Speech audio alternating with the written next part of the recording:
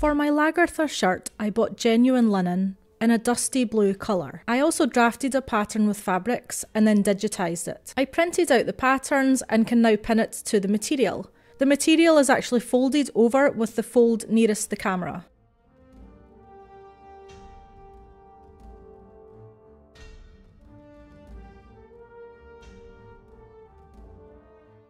Then I cut out these sections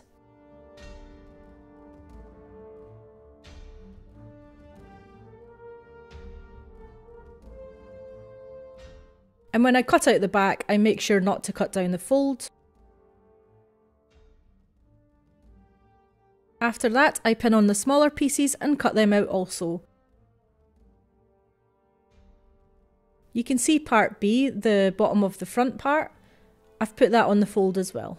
So the first step of joining this all together is to take the two top parts and iron along the seam in the middle. These two pieces won't be sewed together at all, but they will be joined together with some hook and eyes, so I'm going to leave them open for now. To stop these two parts moving about, I use some clips to hold them together. I then take part B, which is the bottom part of the front, I flip it upwards, and I pin that on to both of these. I also put some extra pins just where the two parts of the top meet, as I really don't want these parts to have any gape. So now I can sew these all together. I use a straight stitch and I use a little magnetic guide so that my seam allowance is consistent. I left a bigger seam allowance because obviously the raw edges of the linen will fray really easily. And then so when I've finished the stitch, I go back, set the machine to a zigzag stitch and then go just inside that seam. Adding a zigzag stitch in will just stop any fraying at the ends. Now you can just cut off any excess. So now just take an iron and press it over the seam. Now to connect the whole of the front to the back part, I take some pins and pin them where they should join, with the wrong sides facing out. I also pin the shoulders as obviously we'll need to sew these too. I start with the shoulders and I do a straight stitch. Once I've done both shoulders, I then go back and add my zigzag stitch to stop any freeing. I now close the sides by running a straight stitch down. I continue this row of stitching, but I leave a large split at the bottom, so the shirt fits and moves better around the hips.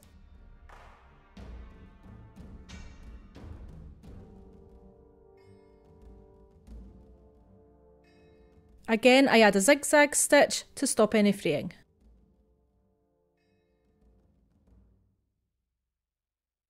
I've got two facings for the front and one circular one for the back.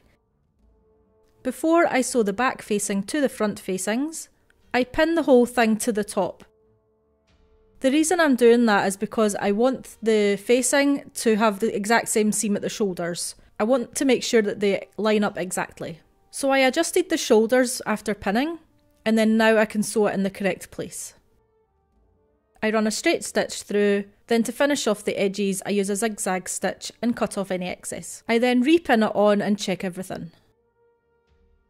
Please note that I also ran a zigzag stitch along the edges of the facing, which you can't see here. Now with the right side of the shirt facing out and the facing pinned on, I then sew these together.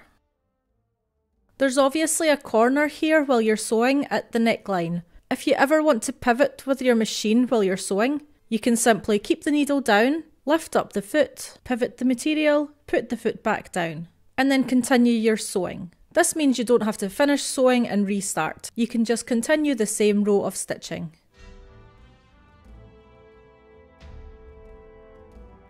Once completed, my facing looked like this, and then I can just turn it inside out. So I take the corners first and just poke it out with my finger. This is the corner at the top of the neckline. I take an iron and press that flat.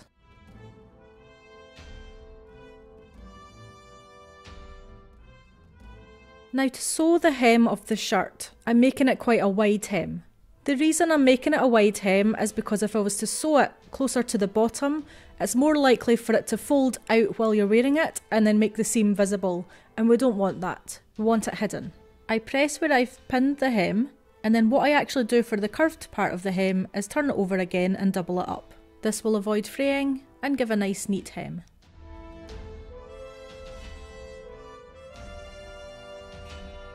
Note that I only folded once where the splits are. I then press again with an iron and can start sewing. I sew close to the fold to create a wide hem, just catching the fabric.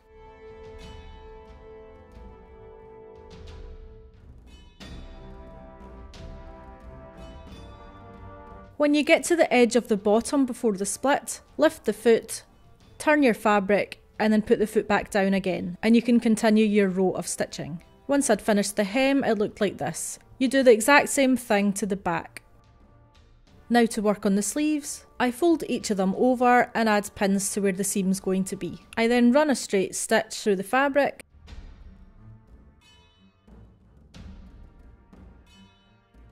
add a zigzag stitch to stop fraying, and then I turn it inside out. And it looks like this. Now I line up the sleeve with the armhole, and basically the way to do this is put the sleeve inside the shirt. The sleeve should be right side facing out, the shirt should be wrong side facing out. Then add some pins to join both together. I designed this in a way so they should match up completely. Just use the reference marks if required, which will help you line them up. I do a straight stitch completely over these pins. I put the pins sideways to stop this fabric moving about. It's quite tough to do this part. I can now hem the sleeves. As before, I turn over the bottom once, press with an iron, turn it over again and press with an iron. I recommend putting the shirt on first to get the correct length. I make the hem quite wide again with my stitching you need to be careful sewing this part. I continuously check the fabric underneath isn't getting caught. And then press it. Once both sleeves are on, you can check everything, and if you're happy, we're going to actually add closures to the front. The closures I've chosen are called hook and eyes. I add four pairs of these and space them evenly apart. You can see I've already completed three, so I'll show you how to do the last one. Firstly, I'm adding the hook part and I've added a pin to where this should exactly go. I did this from measuring and making sure they were all spaced evenly. You want to start this off, so add a couple of stitches horizontally underneath the pin. This will stop the threads coming out and you can just trim the ends off. Now's a tricky part where you have to sort of line up where the hook should be. The way I did mine was to just sort of line up the hook with the edge. So if that's lined up properly, then you would just sew in the holes that are given. First of all, I go under the hook part and around that bar and that holds it in place. You want it to be held in place before you actually put thread through the little holes. It'd just be a lot easier for you. So I do a couple of those stitches. Now I put the thread through the holes. And when I pull the thread through, I actually take the loop and pass the thread through.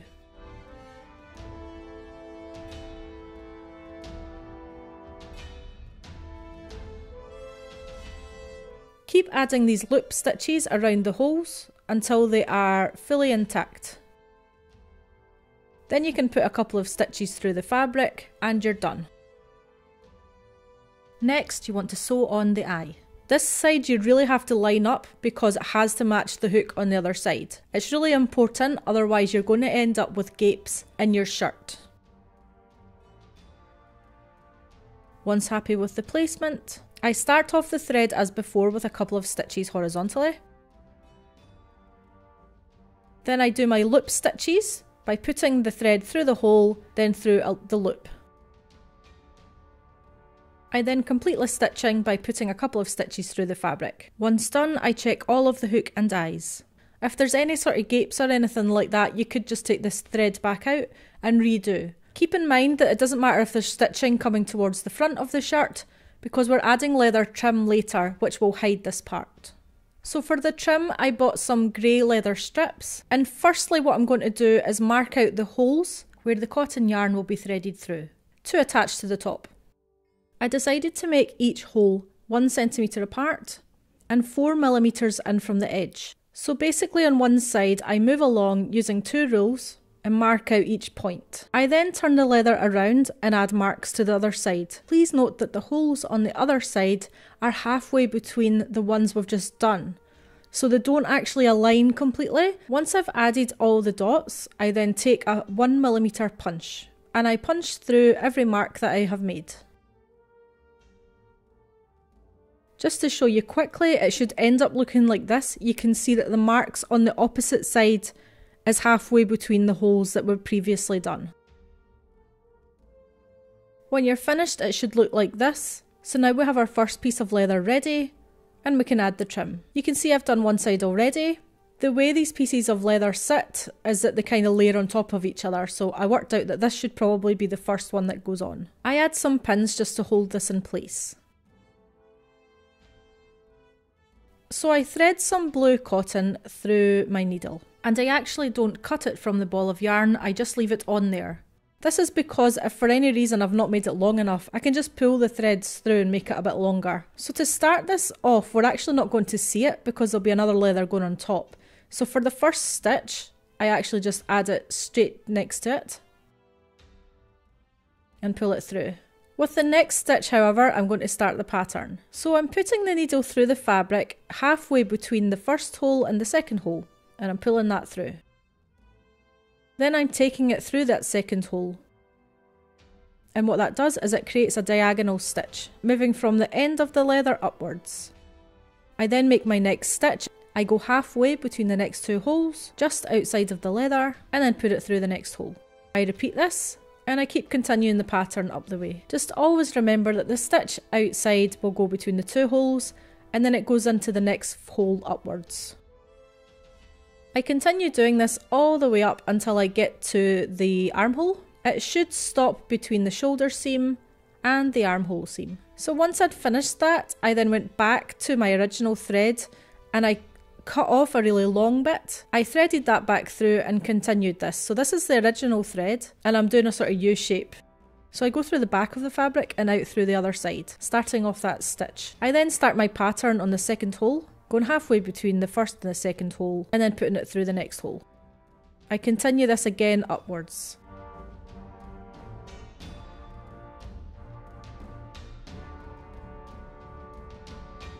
When finished, I remove the excess fabric so it finishes parallel to this gap in the top. Just be careful when you're cutting it as you don't want to cut into your actual shirt.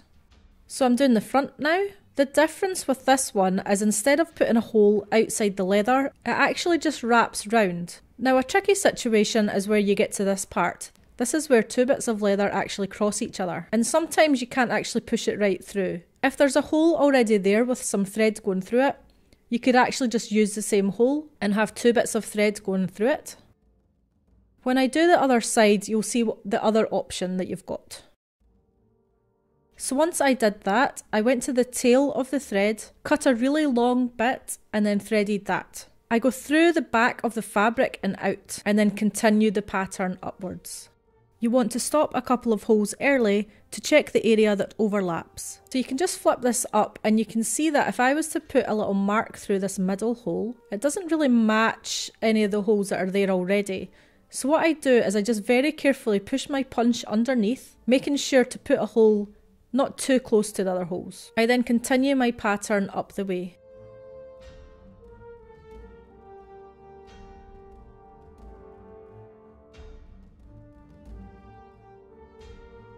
Now when I go outside I can also realise that I should have another hole there so I had to go back in and make that hole.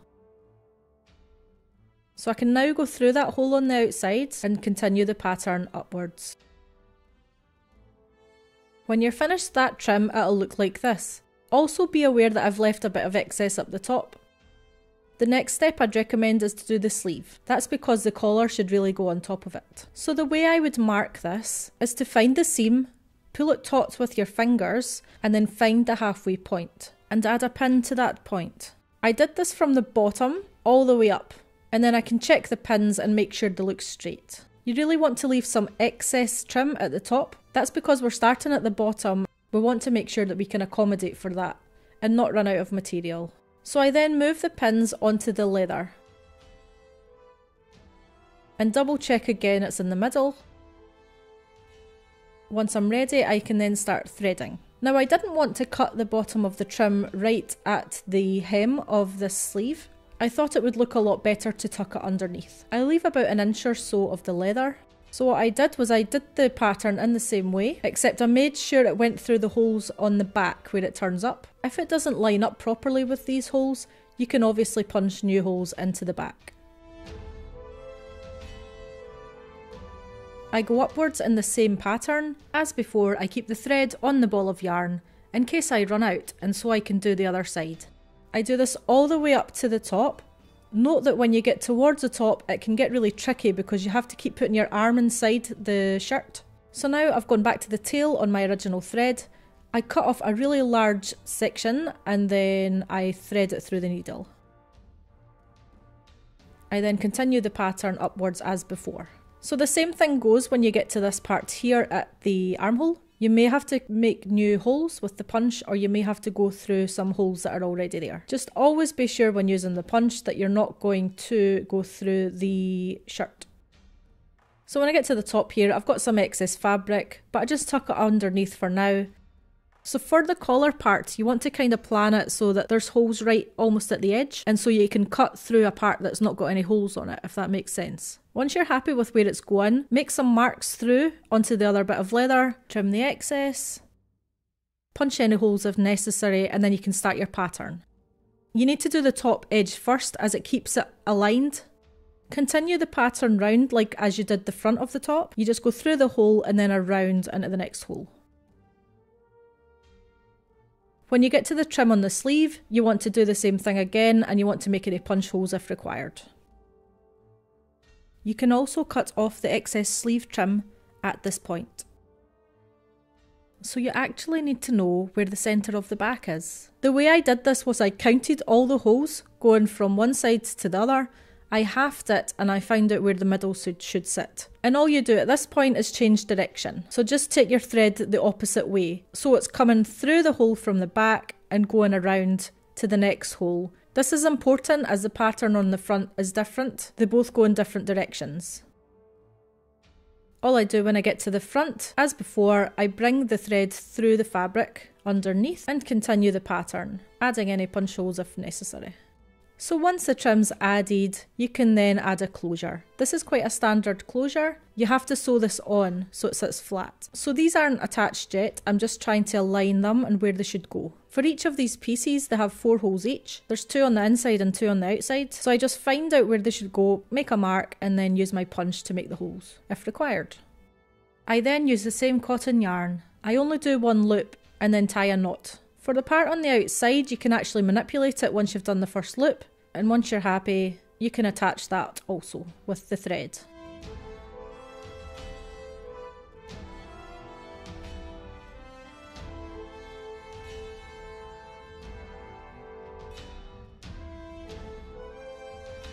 So now that's the Lagertha shirt finished and I hope you enjoyed the tutorial.